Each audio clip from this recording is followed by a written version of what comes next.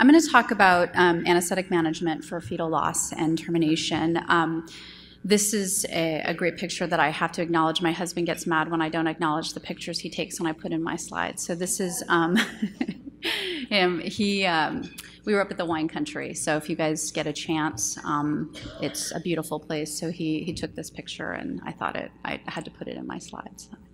So no disclosures. So I'm going to talk about um, the common causes of fetal demise. Um, it's actually in the obstetric literature, and, and, if you go to an obstetric conference, that's one of the areas that's a really challenging for the MFM teams because often we don't have a reason, and it's really from um, the emotional impact and kind of future planning for women. It's a really um, the MFM physicians really struggle with how to explain, you know, what could they do differently, or you know, and of course talk about the the guilt and um, that goes along with this uh, loss. So we're going to talk about the obstetric management and then also the anesthetic options um, for induction, termination, and dilation and evacuation, or what we call D&E. So just a little, um, this is a shout out to the Williams um, obstetrics textbook. Um, so this is a um, little graphical depiction of where you see the most of the fetal deaths after 20 weeks. And generally, we look at it, it's after 20 weeks. Clearly, they happen before 20 weeks as well. We talk about second trimester and, you know, what, what stillbirth and what happens at that point. But I'm going to focus really on kind of the late um, second trimester um, and how we're going to manage that. So you can see it's about 50-50 from 20 to 27 weeks and then 20 weeks and beyond. Um, and then we're not going to focus on infant deaths for this talk. So I know this slide is a little hard to see. I tried to blow it up. Again, this is from the Williams text, but just really looking at the fetal demise causes. And there's obstetrical complications, and they have it by percent. And so really obstetrical complications, which are sort of generally um, categorized into PROM or premature rupture membranes and abruption. Um, you have there's um, obviously multifetal gestation and different issues that can happen with that, um, and then placental abnormalities is the other big um, uh, group, and that's usually uteroplacental insufficiency, and if you have a maternal vascular disorder, those are kind of the big ones. And again, um, really, it's hard to know. I mean, we'll we'll talk a little bit in, how um, it's managed from the obstetric side, but a lot of what happens with the um, induction termination or the D&E is getting tissue to really evaluate what we can do for um, the next and what was the cause. And sometimes we just don't know.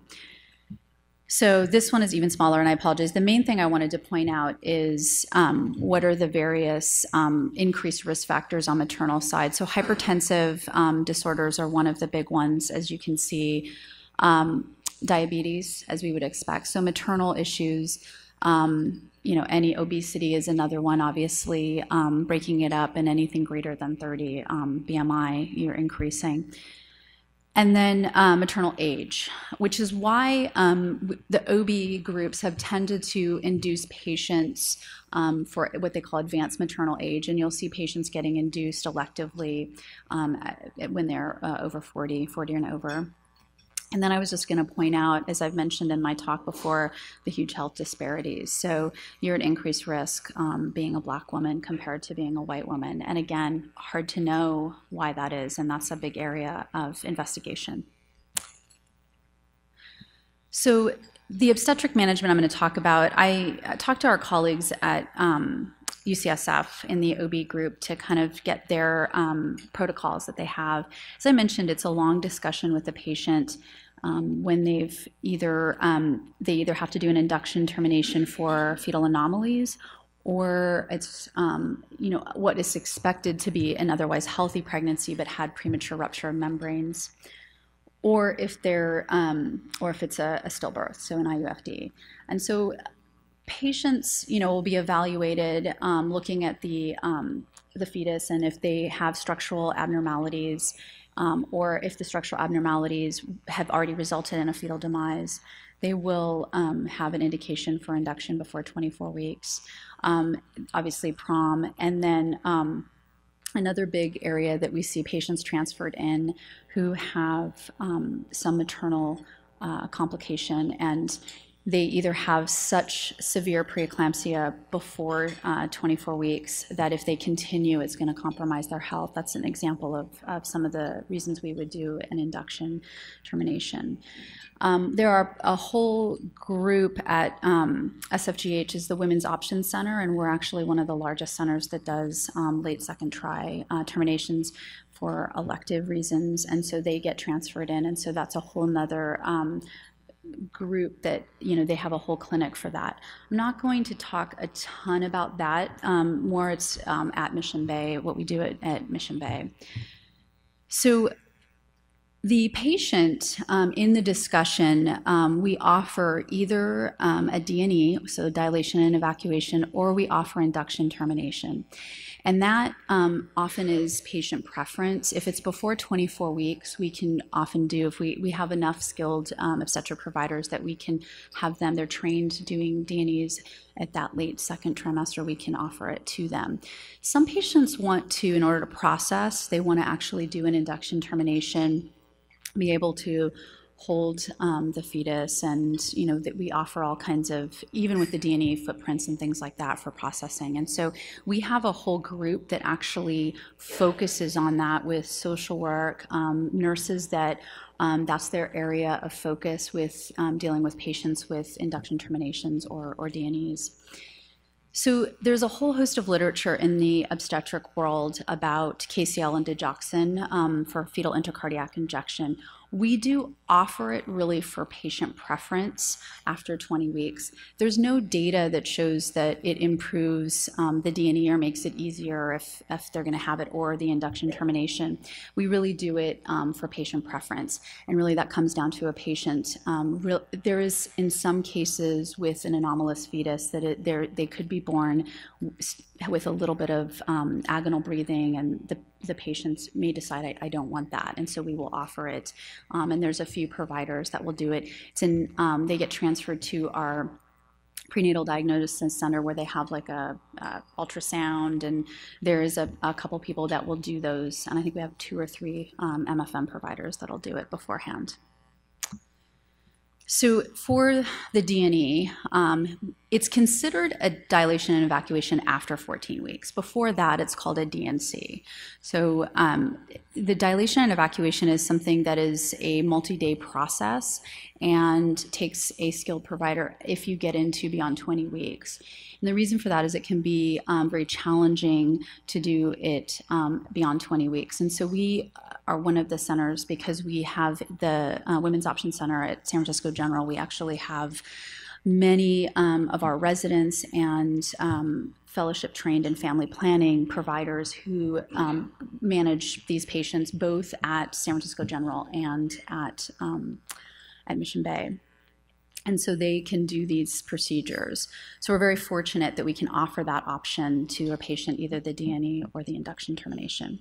So if it's a DNE, um, the laminaria placement can be 24 hours if um, mifepristone is given. And if it's, um, if it's not available or it's not given, it's 48 hours prior to the procedure. Mifepristone is an antiprogesterone, so it's RU486. So we use that because it actually helps with um, cervical preparation and, and helps speed up the process. So the um, you need to have the procedure done after you've had at least 24 hours of cervical preparation. And we do this in the operating room. Um, we have a, one of our smaller rooms where we do our tubal ligations and we do our DNEs in uh, kind of a smaller, um, the third OR for us, and it's done with ultrasound. So the ultrasound really helps guide so that they can see where they're going, and obviously increased risks that we see when they're beyond 20 weeks are um, you can have pretty um, significant cervical laceration. You can have um, uterine laceration, and even significantly enough that it's going to affect you get uterine artery. Um, uh, compromise and they can bleed. Um, so they have, uh, and uterine perforation, that's the other big one. So with the ultrasound guidance, they're able to see where they're going and um, how the, if they're you know too far up into the fundal region. So it's, it's important for them to have that. So induction termination is something that is done with a combination often of misoprostol and mifepristone. And for those patients, um, we have protocols where there's continuous TOCO monitoring if they're greater than 20 weeks, 28 weeks with a uterine scar, or if they have twins at any gestational age. The dosing you can see there at 18 to 22 uh, weeks um, with singletons and no uterine scar, they're pretty, what you'll notice is the um, mifepristone and misoprostol combination Misoprostol is a pretty high dose, um, much higher than we would obviously give um, if we were not doing an induction termination. Um, and what they found is that they're able to um, use those high doses to sort of, the goal is let's um, facilitate this um, induction and move things along. And mifepristone helps with that as well. So if they're not delivered after five doses, we actually have to reevaluate um, and look for signs of uterine rupture. And um, we could consider either starting again or do a D&E. And so again, we'll talk to the patient about it. And the goal for the patient is just to move this along and, and get this completed and done um, as quickly as possible. So I think one of the things is always with someone who has a uterine scar to um, proceed cautiously. Um, and we've had a few cases where um, we've we've ignored their increasing pain, and we've um, had some patients that have had uterine rupture. So we do look at that carefully. So if there's greater than 28 weeks and there's a prior uterine scar, um, we actually can see we're still giving pretty high doses of um, misoprostol, but we dose it down. And actually, um, talking to some of the providers that do these in the obstetric world, they will actually even go lower on that dose, but they can go as high as 200. I think there's their dosing is based on data that they have from retrospective data. In the third trimester, they're obviously going to use the lower doses and what we typically see in inductions. And then we start oxytocin anytime after 17 weeks. So it's usually um, similar to the inductions that we see for um, patients that are having, you know, standard inductions post dates on labor and delivery. They will get their cervical ripening, and then once that's done, they will start with the um, pitocin. So very similar. It's just obviously higher doses of misoprostol, and we add mifepristone. So that's the obstetric management what do we do with the anesthetic management? So for us, it depends on what procedure. Obviously, if it's an induction termination versus a D&E, we do different things. Um, we want to make sure that we know the gestational age. Um, we also need to ask, you know, why is this patient being induced? and determine which, you know, were you doing D&E or were we doing induction termination, and then obviously evaluate maternal comorbidities. We also, if it's a fetal demise, ask the patient um, and the providers when we suspect the time has been from the demise to where they are now. If um, the patient has had a fetal demise greater than three weeks, they're obviously now at a little bit higher risk for um, DIC, and so you can um, ask for DIC. I usually do get DIC labs if it's greater than three weeks when the demise happen is really challenging, especially if they're early in their gestational age. Um, but you know, there's some signs that the obstetric team can look at. Um, no one ever really fully knows, so you have to kind of use your judgment. So with induction termination, um, it's very similar to a laboring patient for, from our standpoint. It's labor anesthesia. We do it uh, epidurals we really treat for maternal pain. And we tell the patient, you can have an epidural whenever you want it. Patients will often, um, in taking care of these patients, both on the obstetric side when I was an obstetrician and then from the anesthesia side, often patients try to not have an epidural because they figure, well, it's, you know, they, they think it's going to happen quicker and, you know, maybe um, I can go without it we tell them at any point they can have an epidural, and usually what they start with is some fentanyl, and it's usually around the time that they're about to deliver um, the, the fetus that they have that increasing pain and cramping, and we put an epidural in, and it's often at that point um, they, they will deliver. The other thing that's um, important with the early gestational ages, um, the um, umbilical cord is very small, and so the placenta can often get adherent and the cord can avulse. So we try to, once the fetus has been delivered, we will wait for the placenta, and we wait a, we can wait up to four hours. If the placenta isn't delivered at that point, or if there's increased bleeding, we would then proceed to doing um, a manual extraction of the placenta and um, go to the OR. And so in that situation, you have that epidural that you can use as well. And you have to be prepared with any induction termination that you may end up being in the OR for a DNC for the retained placenta. So the management for DNE. Again, you want to know the gestational age. You want to know if they're going to have the laminaria placed with mifepristone or just laminaria. Um, we obviously think about 20 weeks gestational age. That's when we start to have the concern for increasing risk of aspiration. And your anesthetic options can vary depending on the maternal comorbidities. So I always ask, is there a role for GAWA? So that's general anesthesia without an airway.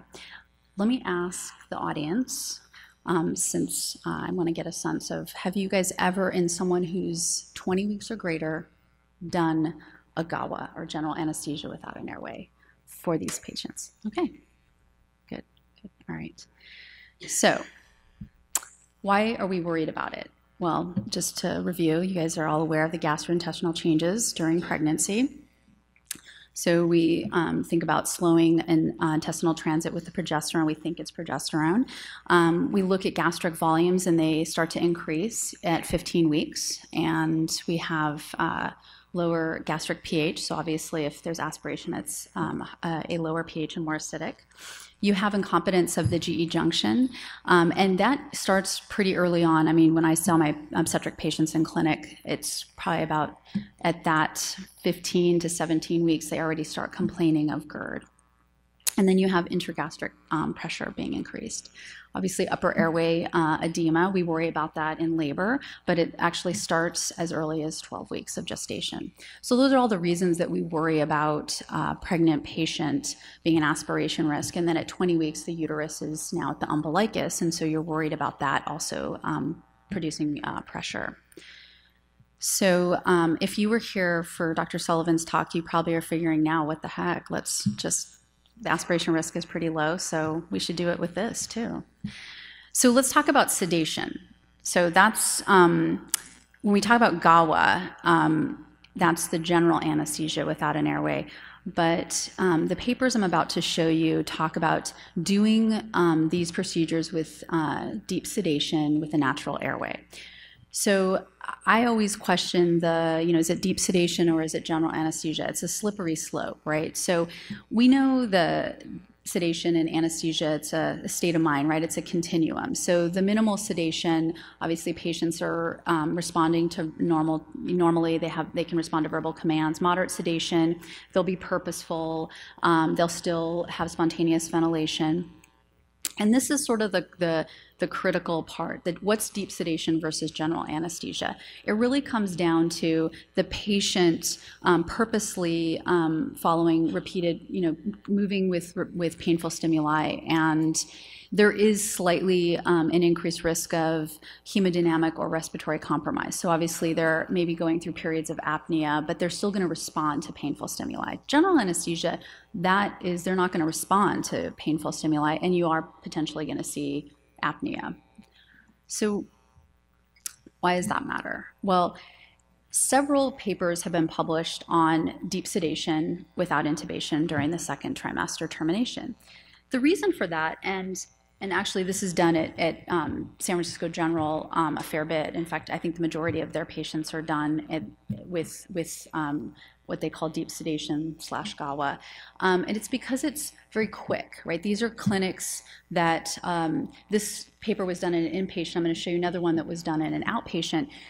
They have to go through so many cases in a day that they just said it's quick, it's safe, and this is one of the papers they looked at um, this setting, and they said, you know, we've we've looked retrospectively, and they had DNEs from 15 to 24 weeks. They did 332 patients. They reviewed the records, and they did four weeks post procedure. They reviewed their records, which was good because they went, you know, beyond the just day of, and um, their primary outcome was pulmonary aspiration or conversion to intubation.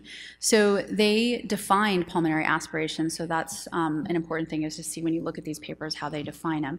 It's um, development of new pulmonary symptoms um, and or chest x-ray findings. So it was pretty, um, specific. Um, 36% converted to, of uh, that group converted to an endotracheal tube um, and no aspiration. So I think um, when I look at these papers, um, part of it is I question, having done these cases, you know, it's hard to know if you're fully the, during the whole case in deep sedation and not general anesthesia. So I kind of look at it and think, well, this is, um, I have to assume that some part of the procedure they were transitioning between deep sedation to general anesthesia. But nonetheless, they didn't have any aspirations there was a bigger paper that was done. Um, Gillian Dean, who um, is the author of the paper, she actually um, trained at UCSF and then did um, her family planning uh, fellowship and went on to be the medical director. Um, I believe she's now at New York. Um, and she runs a very high volume clinic. As you can see, they did a retrospective review um, over 81 months. They had 11,000 patients that had what they describe as deep sedation.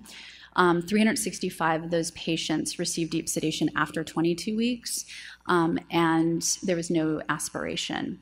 And the only criticism in reviewing the paper is they didn't really have a lot of follow up after discharge, but you know, nonetheless, they didn't have any within that period of time that they did the procedure and while they were being recovered, any signs of pulmonary aspiration. So, why are we worried? You've seen this slide. Um, the risk of um, aspiration is something we worry about in our pregnant population, and obviously in this um, uh, cohort of over almost 5,000 patients that had maternal cardiac arrest, and now this is when they're um, not DNE um, patients, we did see uh, a high 7% was um, allocated to aspiration pneumonitis. So that's the concern, right? So there are data to show that you could do a deep sedation, and I would argue it's probably a combination of during that procedure, deep sedation slash general anesthesia without an airway, and they have been successful. But it's a question of what risk benefit. You know, do I want to risk the aspiration versus is this a quick procedure and it's going to be okay? And based on all of these retrospective papers. So, is there an alternative? There's also neuroaxial approaches, right? So, you could do an intrathecal or an epidural. The benefit is you minimize manipulation of the airway. Your patient, um, this is a procedure that I will tell you um, 100% of the patients do not want to be aware of what's going on. So you're going to need to give them some amnestic agent. You need to have a short acting local anesthetic for um, this. It's an outpatient procedure, and obviously in very busy clinics, you want to be able to, you know, go to the next patient, go to the next patient, and you don't want your recovery unit to be um, waiting with all these patients that are, you know, two, three hours after their spinal, they're still not recovered and able to leave. It does take a little additional procedure time, and you have a risk of post-dural puncture headache. So what are the options? There is um, chloroprocaine, which is uh, duration of the block is 30 minutes to an hour. You have bupivacaine, which is not looking so good for a quick outpatient procedure, and neither is ropivacaine. So, what have I done? So, chloroprocaine. Um, I was interested in this um, the very beginning, the first day, Friday. Everybody was talking about things to put into the intrathecal space, and I was like, "That oh, maybe they won't be so uh, freaked out by chloroprocaine." Um, it's been an issue. So, why was it an issue? Now, Ken Drasner wrote this. He's um, from he's now retired, but he was um, one of the leading experts on local anesthetic and wrote this editorial back in 2005, and the issue with chloroprocaine was the preservative. So the take-home point, um, and I encourage you, it's a great um, editorial review. It's a great article. But the um, chloroprocaine, the upshot is it's preservative-free. It has no bisulfites. Um, it it acts as a local anesthetic that is short-acting, and it, it doesn't have any risks of TNS. And so, how do we know this? Well, the one of the authors of this review for neuroaxial anesthesia for outpatients. He's at Virginia Mason. So Virginia Mason has they use it um, pretty frequently in their outpatient for ortho procedures. They will use chloroprocaine. They've done uh, 4,000 cases. Um, they've had no evidence of nerve damage, and they use 40 to 45 milligrams of anesthetic um, for 60-minute procedures, and they have 120-minute discharge from the PACU. They use it. I've talked to um, Dr. Mulroy about it, and he is, he's said they've, that that's sort of one of their exclusive things that they do for these quick cases. Um, it has been approved in Europe um, for intrathecal injection, and the discharge times are shorter um, compared to lidocaine. One of the things that there's been plenty of studies on this have shown that you don't really need to make it hyperbaric, so you don't have to add dextrose to it. Actually, when they've done that at Virginia Mason, they've had more urinary retention, and since they stopped doing that, they've, they've not had any issues, so they just use the tube chloroprocaine. Here is a review um, of the chloroprocaine spinal retrospective analysis. And so they had 121 patients receiving preservative-free 2-chloroprocaine for spinal anesthesia no reported complications of TNS. You can see the recovery profile there. Um, that's um, really um, from the time that they're able to um, ambulate and be discharged. It's of the three different local anesthetics, it's um, the one that provides the quickest recovery. So um, I do use chloroprocaine for procedures on uh, labor and delivery, D&Es. I will do it for cerclages. Um, it is a great local anesthetic technique for patients that want to be discharged. You need to have that block. It will last, in my experience, you have an hour. So you always want to ask your um, obstetrician, do you think this procedure is going to go longer than an hour? Because if it is, then you can't really use chloroprocaine, but it is an option. So the management of these patients, it's a complicated and emotional um, process for the patients. It takes a multidisciplinary approach um, to manage it in a way that patients feel um, they're being treated in a respectful, dignified way, and I think our patients are really respectful of the whole process. We, um, we do provide whatever anesthetic management that we can, but based on the patient's um, preference. And for the D&Es, um, you can consider doing some short-acting local anesthetic for those procedures as well. And obviously, I would urge to use some amnestic, so midazolam. Um, and uh, I think that's pretty much it. So we'll wait for the panel. Thanks.